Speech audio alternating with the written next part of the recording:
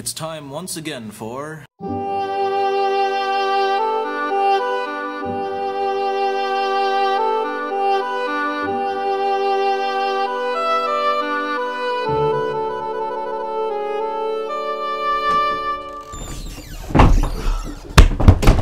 Sorry to barge in. No, don't get up. Mark Webb, knowledge investigator. Yes, but I've never had anybody actually come into my office before, Miss. My name's not important. You can call me barista. But I have a question. No, a problem. All the prob- all the coffee in this world today, and they're ruining it. What do you mean? Everywhere I go, blonde roast, light roast, light blonde, it all tastes like a melted crayon. The only blonde I want to experience is Charlie McDonald. How can I indulge my taste for something rich and strong enough to taste? All right, I think I have some ideas. Do you want to come along, or do you want to wait for a call, Why don't you or get back to me? I have some important MacGuffin hunting to do.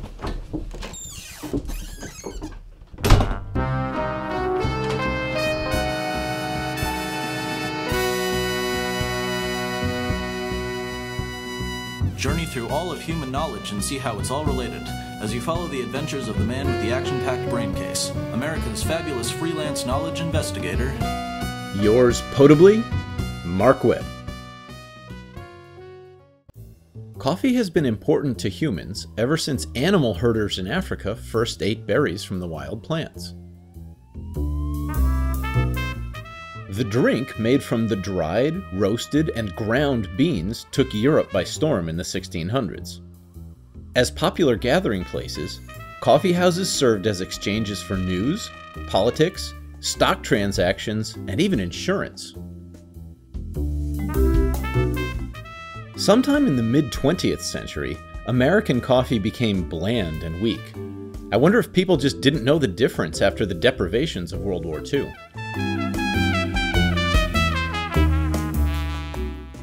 Fortunately, in the early 1970s, a culture emerged on the West Coast that appreciated well roasted and well brewed coffee.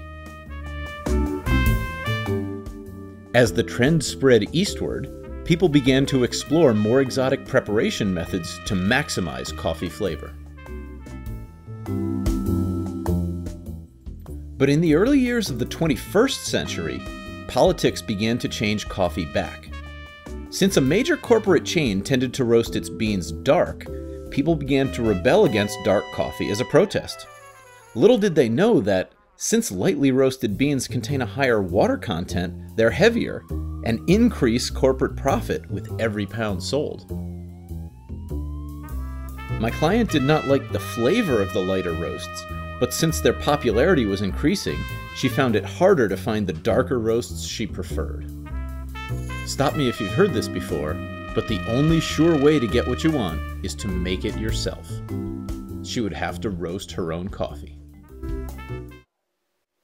Step one is to choose a source of unroasted coffee.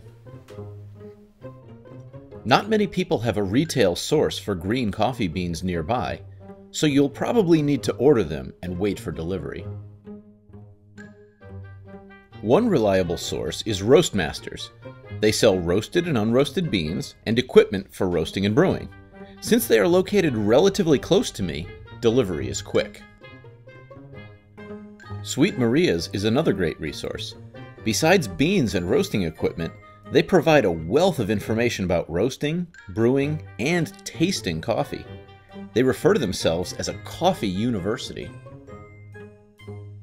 These aren't by any means the only resources out there, they're just ones that I like. Next, you'll need to select a method of applying heat to roast the beans. To get started with things you might already have lying around, you can use a cast iron pan and a heat gun.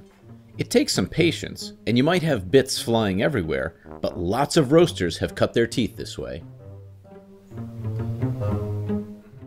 This is my version of a camp stove coffee roaster once featured in Make magazine.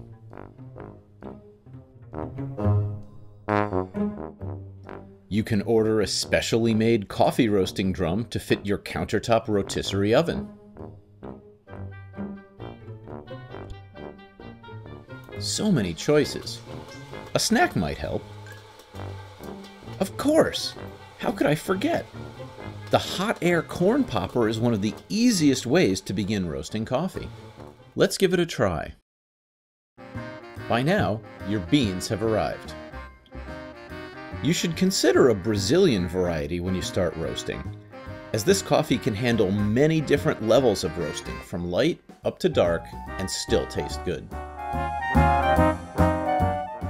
Try to select a popper with a high enough wattage, 1200 or more, to roast your beans well. Also, pick one with a flat-bottomed chamber that blows hot air in sideways. Otherwise, the popper will simply blow your beans straight out. Air poppers aren't foolproof. Some don't get hot enough to make beans dark, especially if purchased secondhand. A cool ambient air temperature can also prevent dark roasting. If you want light coffee, this isn't a problem. But to guarantee you can reach a sufficiently dark roast, I developed a hybrid method.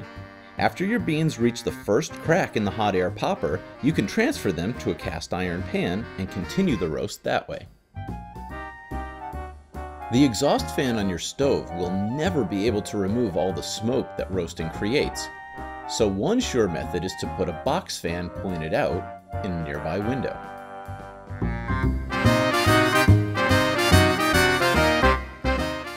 The capacity of this machine is half a cup, and you should also not use less than that since you need to make sure that the hot air fully contacts the beans.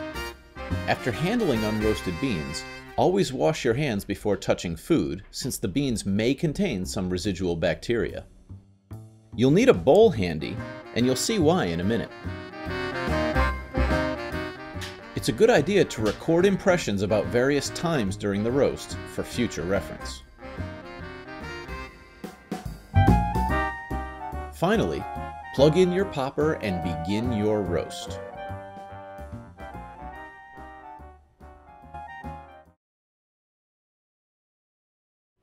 After about a minute and a half, you'll start to see the dried husks of the beans, called chaff, flying out from the popper into your bowl. This means you won't have to remove the chaff before brewing. It's one of the best features of the air popper. After about 4 minutes, you'll get an interesting grassy aroma as the water boils off the beans. After about 5 minutes, when all of the chaff has been expelled, you will hear a series of sharp cracks. This stage is called the first crack. When the first crack stops, the coffee is roasted and could be ground and brewed at any time. Any additional roasting is a matter of how you want your coffee to taste. Now I'll show you my hybrid method for moving us through the second crack.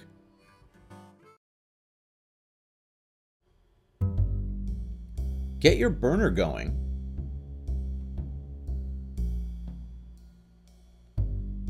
And then transfer your partially roasted beans into the cast iron pan.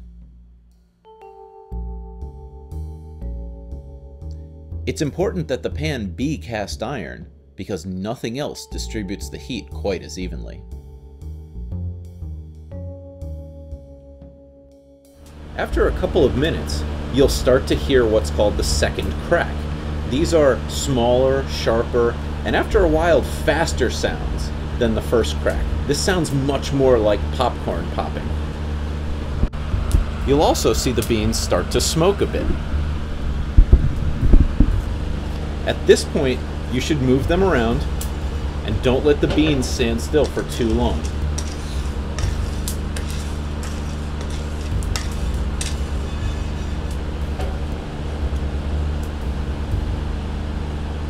As you roast them, they'll slowly get darker and darker.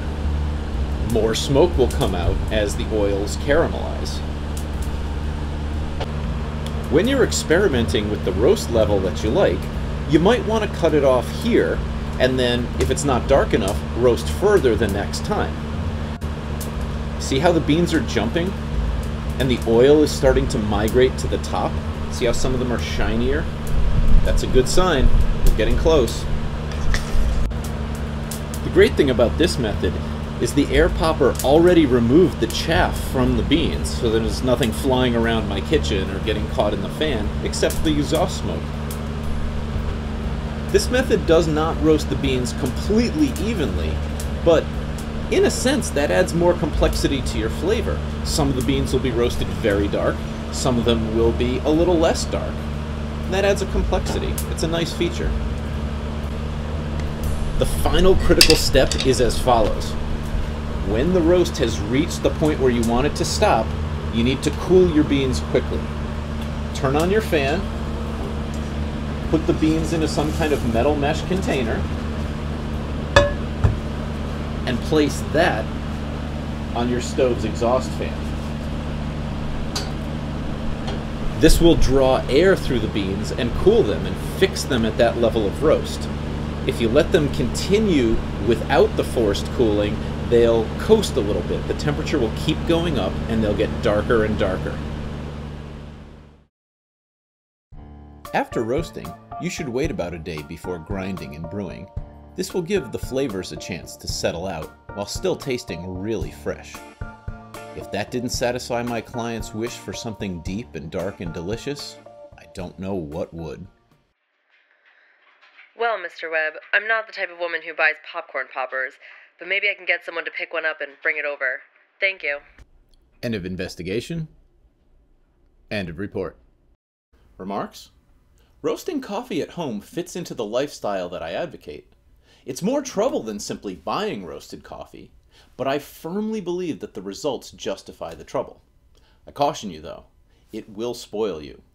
You'll find it harder to be satisfied with any coffee you can buy when you're out and about.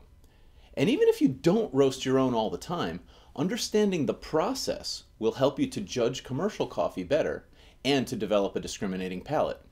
So go transfer some heat. Yours potably, Mark Webb.